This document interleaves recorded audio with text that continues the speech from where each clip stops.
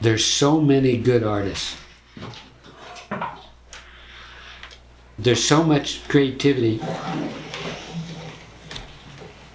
that there's very little originality left.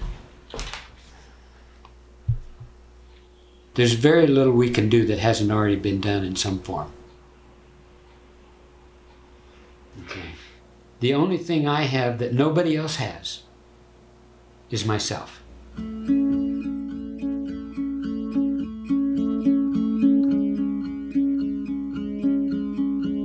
There's young Jim, and then middle Jim is over here, and this is old Jim.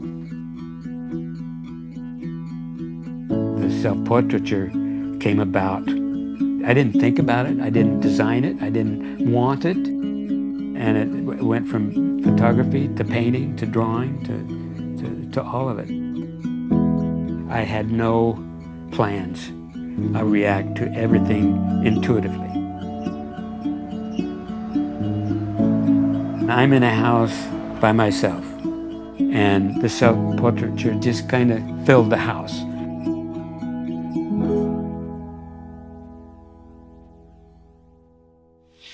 Let me see here. Let's start with the top. It's infinite variety, luck of the draw.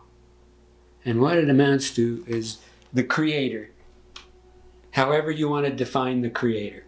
The creator just takes this pixie dust and throws it out. The combinations of whatever interaction that thing has is infinite variety. And that's led to us. And our lot in life is luck of the draw. Well, this is my American family the pretty mom and uh, the hardworking dad. He was a truck driver at this point. He had a weekly trip to Kansas City and back. I grew up in a house without music and without books. My 20s were troubled. I was diagnosed with clinical depression. In 1966, I found hippiedom that very first bloom of hippiedom was innocence and joy and love and you know all of those things. The transition was instant. I was going this way and all of a sudden i'm out of here someplace. I am a self-proclaimed hippie period. Without hippiedom i would not be here. Everybody was looking for enlightenment and some friends of ours introduced us to EST. EST was a self help seminar that was part of a trend of the era. And as part of an exercise in EST, they would get you to relax breathing. It was guided meditation.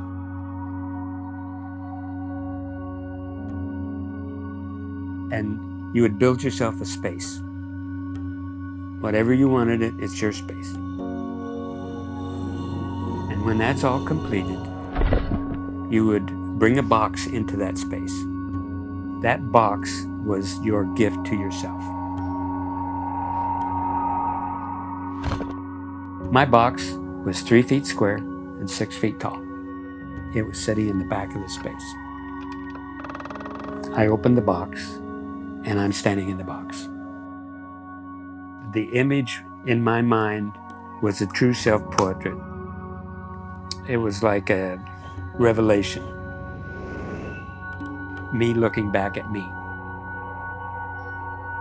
And pretty soon I was doing self portraits.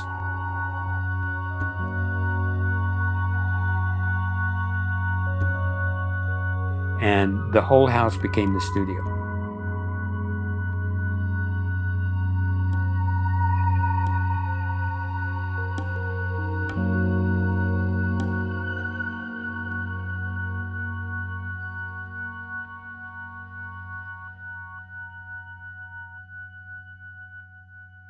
The house is the ultimate self portrait.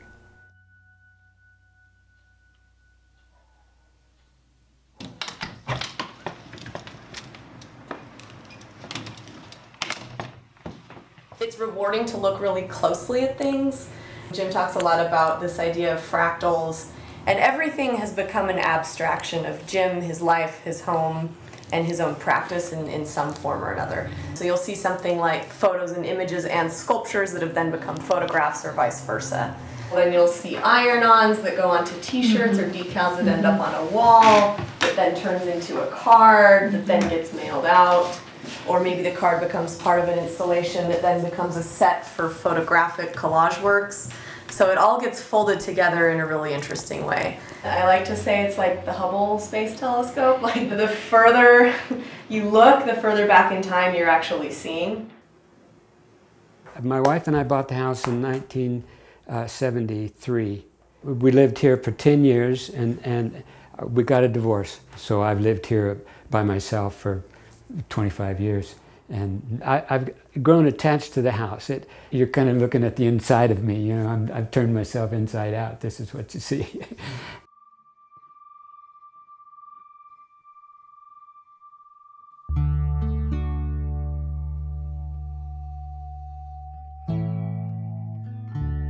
I've literally touched every square inch of this place personally.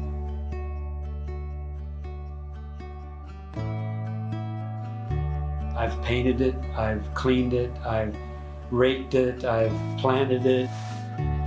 It's like a homestead, you know, somebody lives someplace their whole life and the decision to pack it all up and sell the house and move was an idea that just kind of blossomed all at once. I knew what I was going to do. It, it just, bring, there it was. That's what I'm going to do.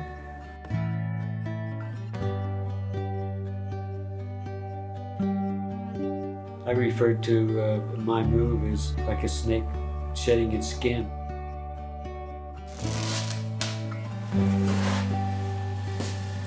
This is the piece.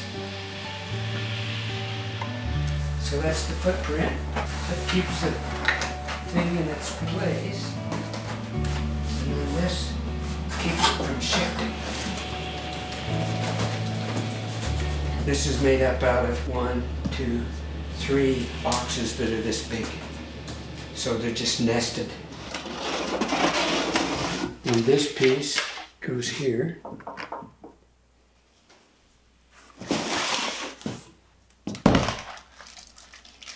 These are all parts that kind of go around, that are articulated uh, around the, the bottom and around here. Some of these little pieces I won't, I won't go through. But this, this sits here. Me selling and leaving the house is the end of my self-portraiture.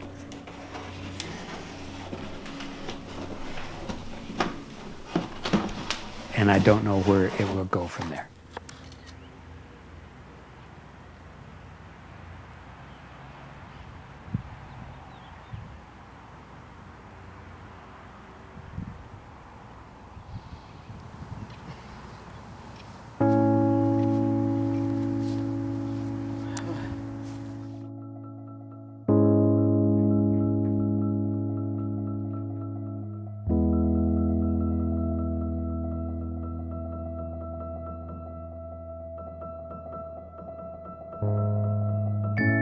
Selfies are the modern digital idiom of self expression, so here's my entry.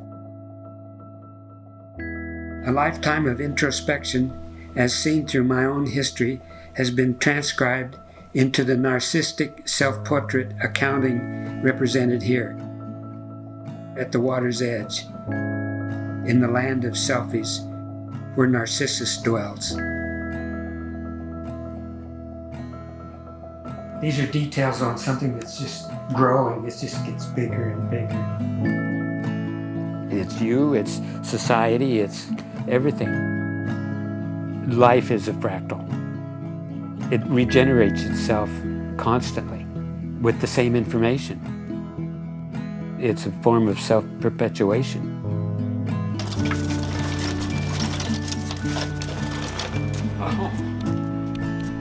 This is kind of the natural progression of that.